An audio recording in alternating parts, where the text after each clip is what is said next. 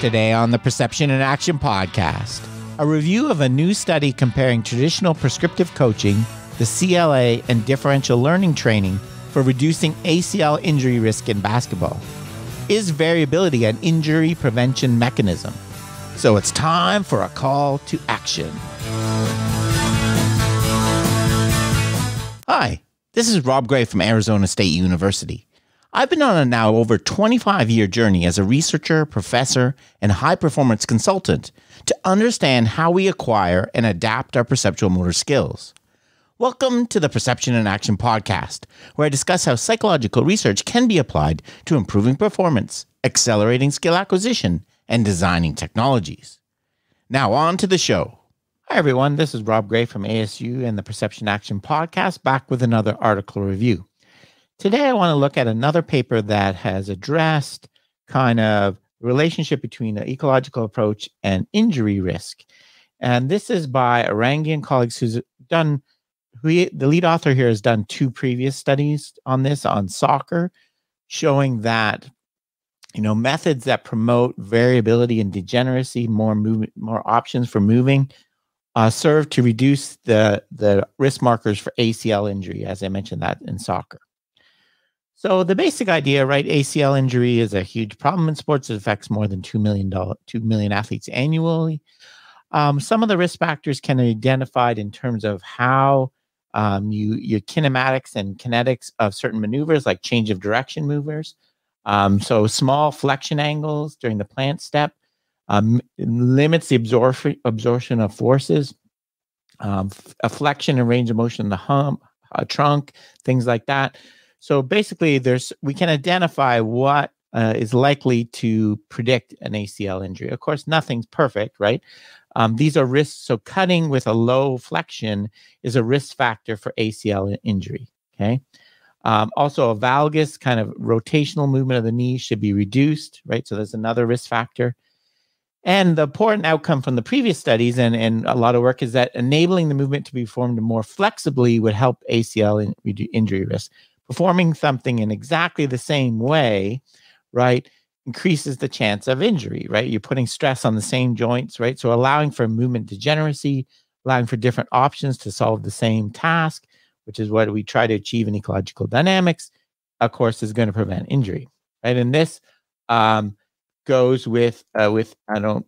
This goes within the the um, injury uh, injury variability the variability hypothesis for reduction of injury right? That variability is another kind of a mechanism involved in along with load and frequency. The other factor is variability doing the th- how much different options are you giving the athlete to perform this right? So we can promote variability obviously with using nonlinear pedagogy or constraints-led approach and differential learning. Um, so search, allowing the learner to search for multiple individual solutions or, or f- almost for, forcing them to by get, making them do something different in every different in each attempt are ways that we can promote this flexibility in the solution that reduces the chance of uh, repetitive injuries. Um, in the previous study, if you recall, they found that both nonlinear pedagogy, CLA, and I'm going to call CLA from now on, and differential learning were superior to traditional prescriptive coaching for soccer, right? Um, they both resulted in reduction of forces and better kinematics, better, right? And better flexion, for example. Um, they, they found some evidence that the constraints that approach was superior to differential learning in this regard, but the results were not super strong. So, what they wanted to do in this present study was kind of three things. One, they're going to try a different sport. They're going to do basketball instead of soccer. Two, they're going to do a longer intervention period. Maybe the results we didn't give enough time. You know, ecological approach takes time. Maybe instead of um, 60 sessions, um, uh, instead of 24 in the previous studies, right? And they're going to measure a cutting task a little bit different than a complete change of direction task. Uh, the final thing they're going to look at, they're going to deliberately manipulate gender as a factor. So they're going to recruit equal number of males and females to see if the results are any different for males and females.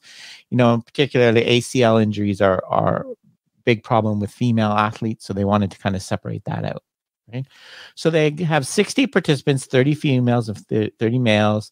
Uh, the professional basketball players, um, university basketball team, uh, who are members of the university basketball team. Um, they were randomly signed to one of the training groups um, with equal gender, right? So they one male, one female. So it wasn't perfect random assignment, right? It was maintaining gender balance across the groups. Okay. So the pre and post test, the participants had to do a change of direction test. So if you recall, the, the other one, they did a complete 90 degree one. So they ran and had to completely change direction.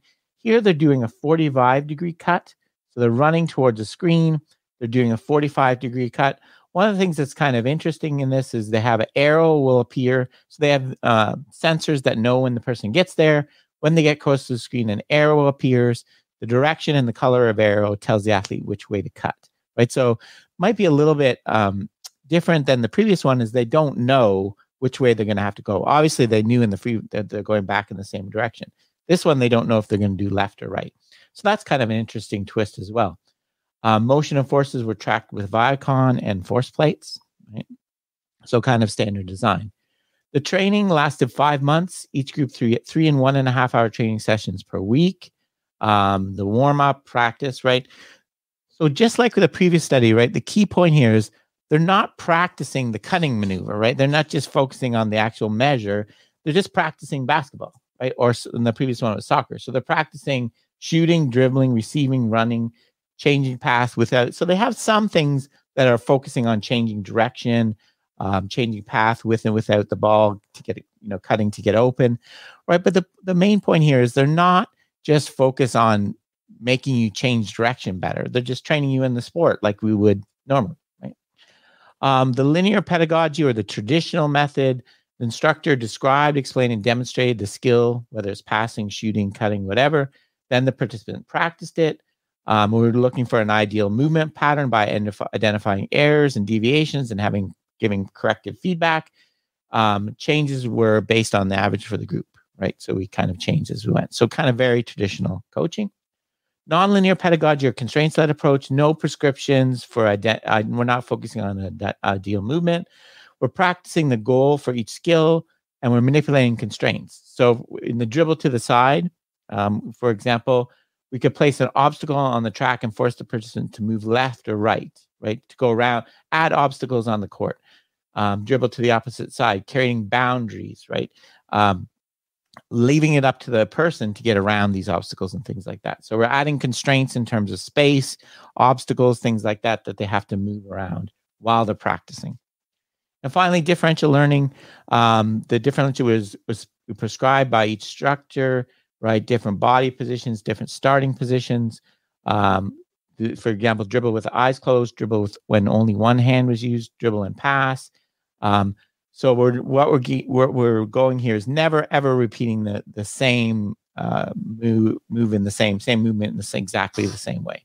So we're doing these kind of things. So in the paper, I think there's supplementary materials to the paper that show you ex- more exactly what they did in terms. Of, but those are the three basic groups, very similar to the soccer study, just longer and obviously a different sport.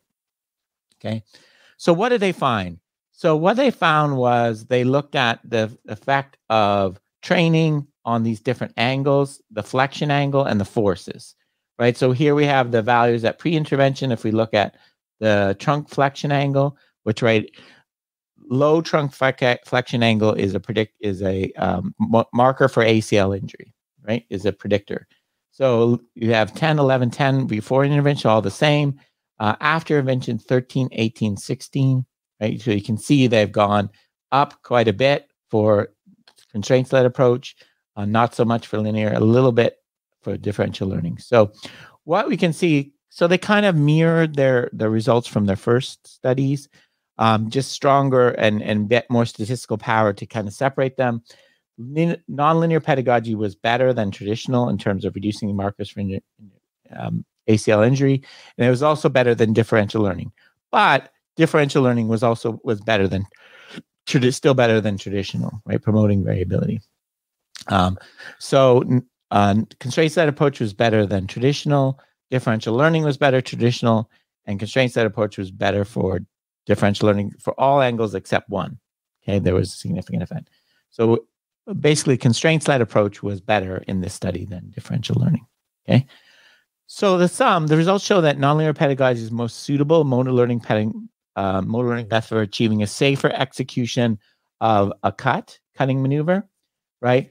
Larger knee flexion angles, uh, less forces, uh, increasing, um, so bending more to help attenuate the force, right? Critically, right? They never actually practiced this. No one told them that you have to bend more. They just created constraints and kind of pushed them to, in this direction. Um, they found no different. The the the methods worked equally well for both males and females, right? So there was no gender difference at all.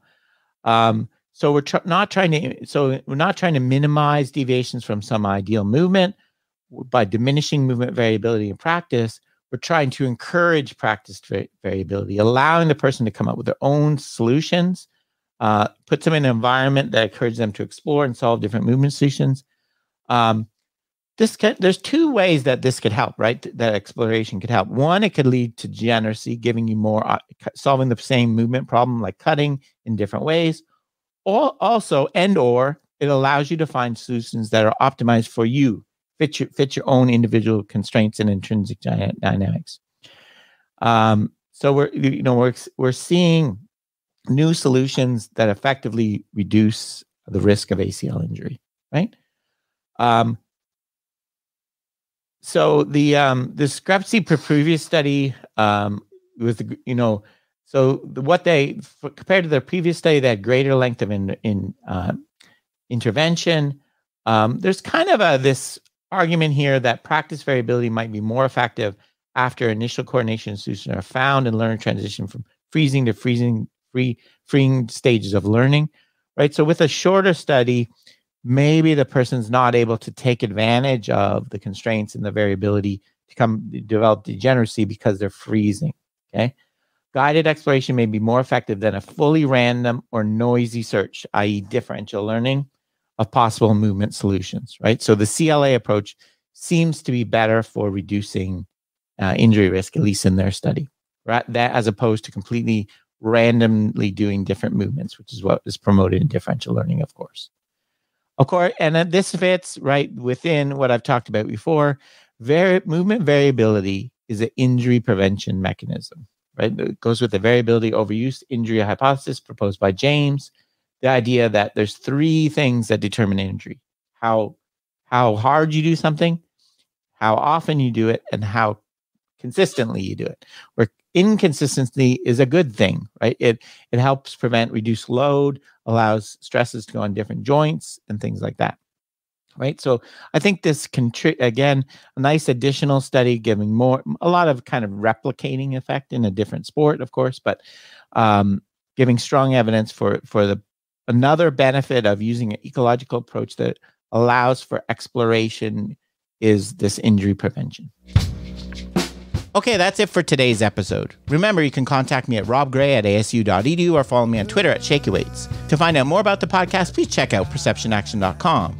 Finally, to support the podcast and receive bonus materials, including a monthly coaches meetup, please head over to patreon.com forward slash perception action. This is Rob Gray from ASU. Cheers for now and keep them coupled.